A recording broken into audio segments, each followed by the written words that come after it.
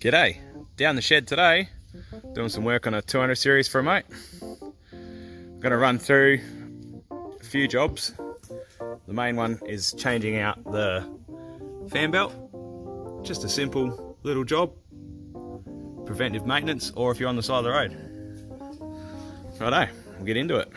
Right, before you even start tackling the job, make sure you got the correct fan belt for your car. Now I've gone genuine only because I've had dramas with belts before. Double check with your VIN number at Toyota or you know what I mean. Make a uh, mud map of where the belt goes.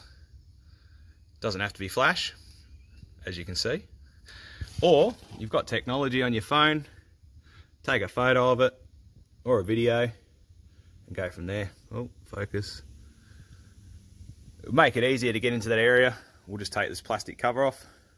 It's only two 10 mil nuts that hold it down. That intercooler cover's out of the way.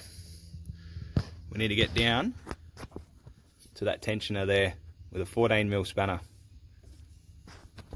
Now with a 14 mil double ringy on that tensioner, push it towards the passenger side.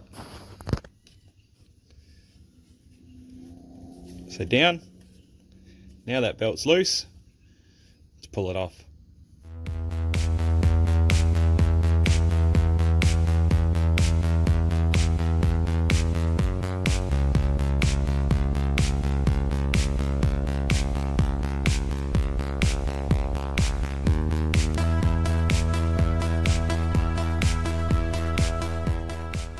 So now with the belt off, we're only changing this out as a preventive maintenance thing. This one's okay still.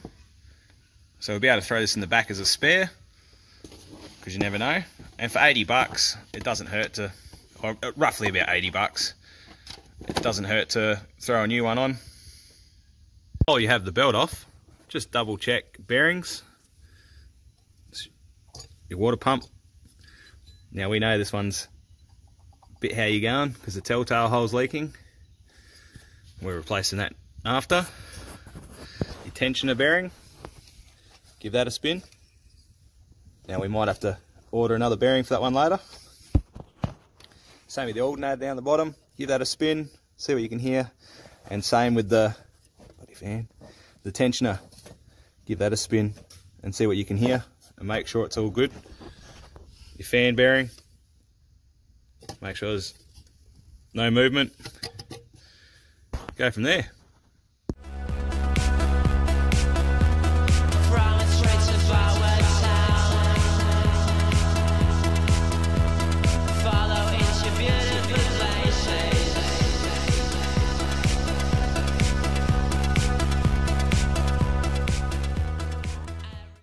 Now I've got the belt around all the pulleys. I've uh, I pulled it back off the water pump because what I do, back to the tensioner. So I've got the spanner on there. I've got it over the tensioner. Ah. Take the tension. Now this is uh, rather tight. And I'll thread it back over the water pump. Right, with a little bit of a wrestle, I've got the belt on. Now, if you're zoomed right down onto the aircon, you can see that it's not on the pulley properly. But I'm just going to have to take a couple of um, shots at readjusting. So, as you can see, your arms fit in here quite well.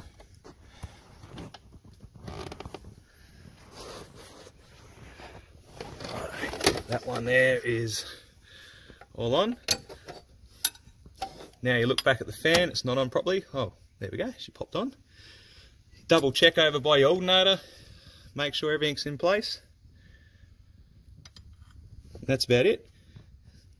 Down on the crank, make sure it's in place. Righto, we're pretty much good to go again. What I'll do now is I'll just start it up without any covers on. Just have a gander, make sure it's all good. Then you basically just got to put your intercooler cover back on. Draw that reference somewhere in your workshop manual. Yeah, let's see how we go. Righto, let's start it up. make sure everything's sweet. Woohoo! We got it. Now obviously let this idle for a bit, make sure everything's right. If not, obviously switch it off and readjust. So, at the end of that, basically got away of using 14 mil double ringy 10 mil socket just to pull that intercooler cover off. If you have the opportunity to buy a zero offset spanner, this is 9 16 but it's 14 mil as well, um, that would be the go.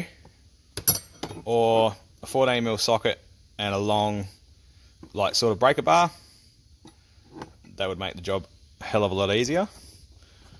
The genuine belt, if you didn't grab, grab the part number before, well, dirty thumbs up. If this video has any help to you, please give us a like. And if you want to follow what else I do down the shed, just hit the subscribe. Catch you later.